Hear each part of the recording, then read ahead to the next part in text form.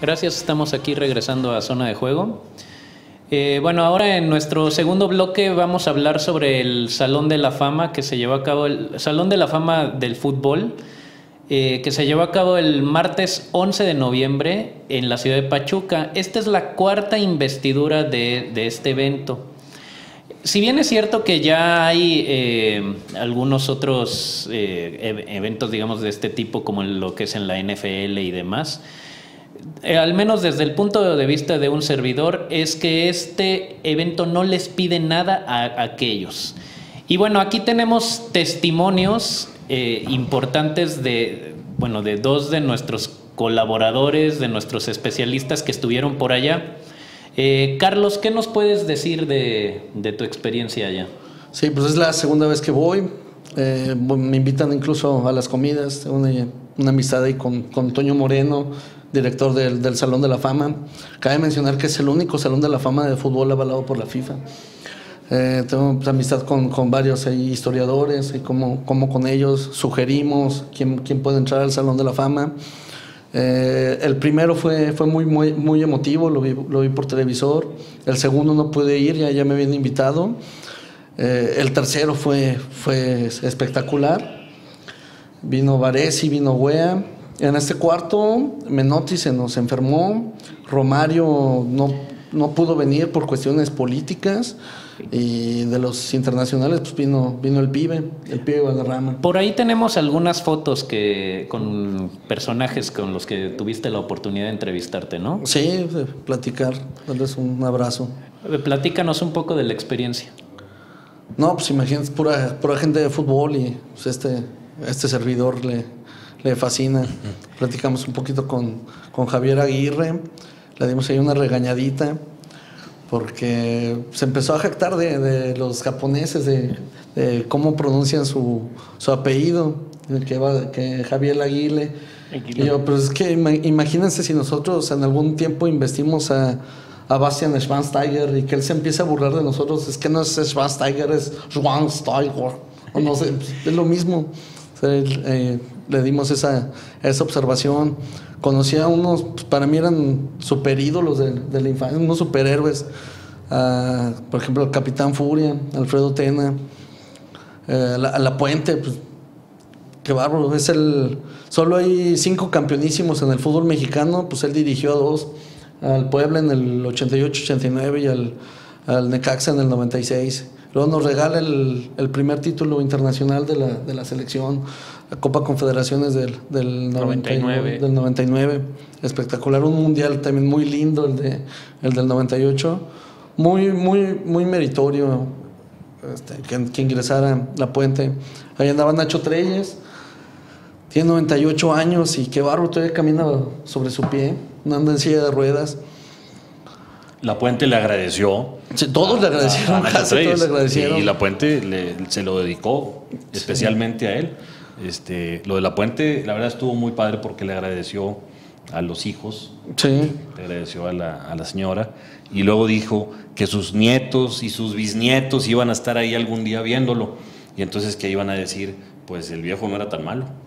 Sí. Me comentó porque este, la verdad muy, muy padre ceremonia, un, un evento espectacular. Es un evento extraordinario, un evento que cumple este, eh, todas las expectativas que tú llevas y mucho más. Sí, es muy emotivo. Eh, la verdad, la organización, el Teatro Gota de Plata, este, los personajes que estaban ahí. Hubo algunos, bueno, el, internacional que fue fue Valderrama y no fue Romario por motivos políticos, como dijiste, Menotti por motivos de salud, pero mandó un mensaje muy bueno. Muy bueno, sí. Y él dijo que era tal vez esto tan importante o más importante que ganar una Copa del Mundo como reconocimiento personal. Él habla mucho en sus entrevistas de la importancia del reconocimiento que deben de tener, que debe tener un, futbolista o un entrenador. Entonces lo, lo, mencionó. Y lo recibe José Ramón Fernández, el premio de menor. José Ramón ahí, ahí tenemos precisamente algunas de las fotos. Sí, con el profe Maturana y el pibe, recordando ese 5-0 a los, a los Ches, a los Pamperos. No, pues eh, por eso la sonrisa de, Maturana, se acordó de cada uno de esos goles. El detalle de Javier Aguirre. Con mis paisas, Fernando, Cabezón Bataglia y Alberto Echeverri. El detalle de Javier Aguirre de mencionar en primer lugar a todas las personas, a su esposa. Sí. El agradecimiento que le hizo su esposa fue muy emotivo. Fue muy bueno, la hizo llorar, eh, estábamos una de ella. Eh, mi amigazo Enrique Ballesteros, Lurán, él, él me regaló el prólogo de, de mi libro. Y pues no, cada que, que lo veo y lo saludo. Atrás se ve Carlos Calderón, otro de los grandes historiadores actuales del fútbol mexicano, eh, con el profe Lapuente. La, de ahí disculpen, la corbata me estaba ahorcando y ya, ya ahí me la quito. Hay que acostumbrar más a usar la, la corbata, ¿no? No, esa corbata me estaba asfixiando. No le caigo bien a esa corbata. Ahí sí, ahí con el buitre. Nomás no volteó el buitre. Qué alegría nos, nos regaló aquí en, aquí en México. Lo que, lo que dijo Butragueño, que, que todos los aficionados al Real Madrid le tenían que agradecer en primer lugar a Santiago Bernabéu, claro. porque gracias a Santiago Bernabéu el Madrid Ah, ah, era lo que era. Ahí Exactamente, con, estoy de los- acuerdo. con Martínez, con Sí, híjole, Matosas. mi última foto con ellos. Cada año me tomo mi foto con ellos. Siempre, siempre van a las investiduras. Eh, pues, eh, híjole, qué, qué triste. Ahí con Don Nacho. Una qué joya lúcido, qué lúcido. O sea, eh, le pregunté que por qué no había llamado a, al Yuca Peniche, Agustín Peniche, un excelso delantero del Necaxa de mediados de los 60, porque no lo convocó al 66. Y se acuerda perfectamente que, que no estaba en su mejor momento, me hablaba de unos penales fallados. Estoy con un superhéroe, El capitán el Furia. Capi Furia, de los jugadores inolvidables. Ah, Ahora bien, eh, vamos.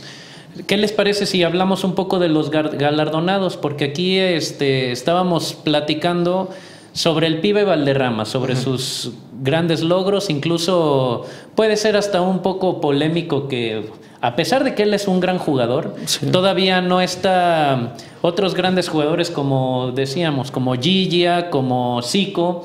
¿Qué, qué opinión tienes tú, Misael, de, de esto, de- del pibe Valderrama? Del Pibe Valderrama. Pues que es, pues, por cuestiones políticas puede ser, porque ya hay muchos sudamericanos que son brasileños y argentinos, necesitaban alguna otra nacionalidad y pues la verdad un jugador que no sea brasileño, argentino, sudamericano, histórico, fácil de reconocer, el pibe Valderrama. Eh, Tú, Jorge, este, eres de Sí, la misma. sí, y aparte, acuérdense del momento que está pasando Colombia. ¿Sí? Sí. Con James Rodríguez y con Falcao, la verdad, este, que a lo mejor algún día ellos van a entrar ahí si siguen con la trayectoria que traen. Entonces yo creo que sí, lo de Valderrama es justo. Es muy difícil, como lo mencioné en alguna de las columnas, es muy difícil darle gusto a todos y pensar que todas las personas este, votan siempre este, por los que son los elegidos.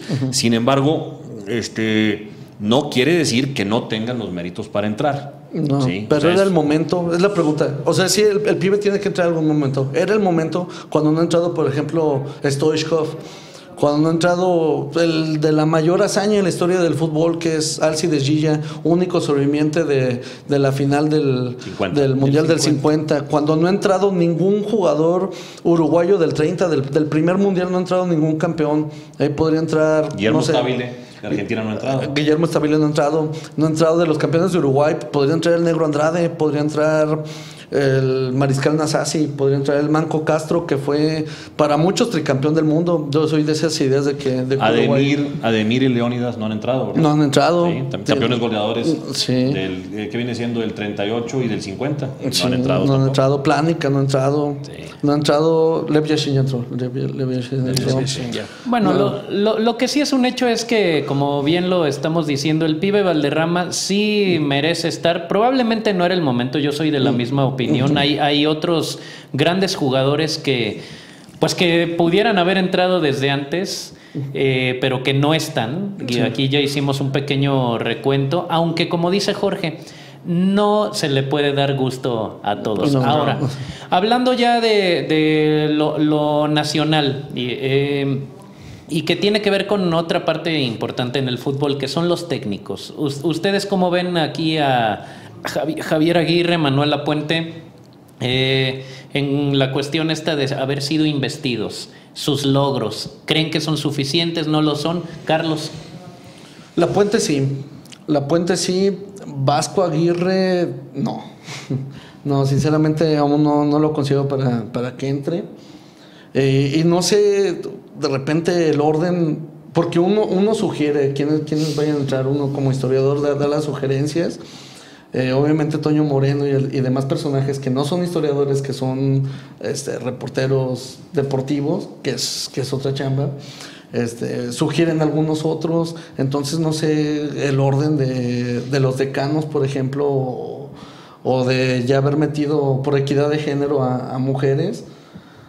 Yo, Entonces- yo creo que lo de Javier Aguirre es por una trayectoria que fue buen jugador, que jugó en México y en España, eh, y la parte en la que cuando empieza a ser técnico en el fútbol mexicano no tardó mucho en ser campeón Con este, Pachuca. con Pachuca, sí, y luego el dirigir, el, el abrir puertas para un técnico mexicano en España yo creo que es importante, Sí. y el ahora dirigir la selección de Japón, sí, porque los dos mundiales yo de México yo no creo que haya sido una cosa extraordinaria, tal vez salvo an- alguna clasificación de la CONCACAF y luego participó, pues no hizo nada extraordinario, inclusive yo creo que quedó a deber. Sobre sí. todo en la Pero- segunda, en el pero, por 2010, ejemplo, sí. técnicos no ha entrado Elenio Herrera, o no ha entrado Herbert Chapman, o no ha entrado no, el, este, el técnico, Supici, el técnico de, de, de los italianos del 34 y 38, Sí, sí, primer pero- técnico campeón del mundo. Pero de, de técnicos mexicanos en el fútbol mexicano siento que sí es importante su trayectoria. Sí, sí, sí, pero sí. ya era el momento, o sea, todavía no ha entrado, todavía no ha entrado Lojitos Mesa, Fíjate, yo siento que es importante Bucetich. que no solamente dirigió a los Asuna, lo, lo- lo metió a Champions League, que en la historia de los Asuna jamás había pasado. En segunda, siento que es el primer técnico mexicano que, se- que entrena una selección nacional extranjera de un primer nivel. Japón, dirán, es Japón aquí, sí, pero ha sido, es el más campeón de, de la Copa Asiática. O sea, no estamos hablando de que es un- una selección B, o, se- o sea, tal vez no sea una doble A, pero sí es una selección A. Es una selección A en su zona. Pero, Pero- no, pero es la más débil de las zonas. no, la más débil de las zonas es con, CACAF, a Aquí hay- excepción de este mundial. Aquí hay una duda que yo tengo. Eh, los, los que han entrado, porque es Salón de la Fama del Fútbol Nacional e Internacional. ¿sí? Pero lo que yo no sé, si algún jugador o entrenador mexicano puede llegar a ocupar un puesto en la parte internacional o no. ¿Es posible? Porque pues, Hugo Sánchez ya podía haber estado, Sí. pero entró por el lado nacional. Sí. ¿sí? Sí. ¿Es posible eso? ¿No lo sabes tú? No, no, no es posible. Si es mexicano, entra como mexicano. Aunque tenga los logros para eso. Hugo Sánchez, sus logros son totalmente. Pero se aclaró o no se aclaró en su momento. No, no se aclara, simplemente este se inviste, se inviste y no, no separan a los investidos dentro del mundo fútbol, de los que ya entraron. De Entonces los- México no aspira a tener un jugador nunca en el, en el Salón de la Fama Internacional. Es que están juntos. Sí, están juntos, yo lo sé. Sin embargo, tú sabes que Tena no hubiera entrado al Salón de la Fama si hubiera sido únicamente internacional. No. Sí, probablemente, no sé, eh, Luis Hernández por, porque metió cuatro goles en un mundial, pero Tena, este, ¿quién más entró así que dijeras? Eh, Sague, Quirarte. este, Quirarte. Quirarte. Entonces, esa parte no sé si la has hablado con Toño Moreno. No, es que son, son muchos los, los votantes, cada vez son más. Y los que sugerimos ahí, ahí vía mail o, o por Hubo un detalle que a mí fue el que, el que no me pareció. El que ni Romario ni Sir Alex Ferguson ¿sí?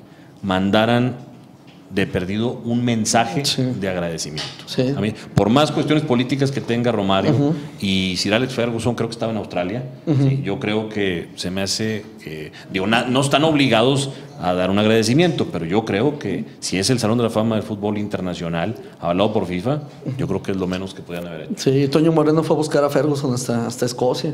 Sí. Eh, Sí, bueno, pues, no es fácil. eh, hay una cosa que, que sí quisiera rescatar. Yo también soy de la opinión de Misael, de decir, a ver, si bien es cierto que Javier Aguirre eh, probablemente no, no sé si hubiera sido el momento, pero de que tiene gran trayectoria, de su papel en el Osasuna, de haber salvado a la selección, a mí me parece como mérito tan trascendente como para poder llegar a, a ser este digamos, el galardonado en esta investidura. Ahora, eh, también la falta de, de atención, sí, de Romario, de Sir Alex, Ferguson, porque al final del día esto es, esto es algo para ellos, no, no solamente es así el espectáculo mediático y demás.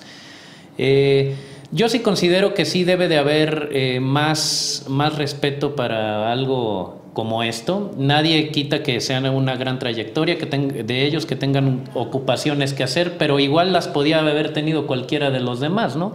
Entonces, bueno, a reserva de lo que ustedes piensen, creo que sí era un evento que valía la pena siquiera de enviar un mensajito. Y bueno, hasta aquí ya estamos llegando a, a zona de juego, nuestra mesa. Eh, les agradecemos su tiempo, les doy las gracias a, a- a nombre de Arnoldo Cuellar y colaboradores. Muchas gracias. Hasta luego. Hasta luego.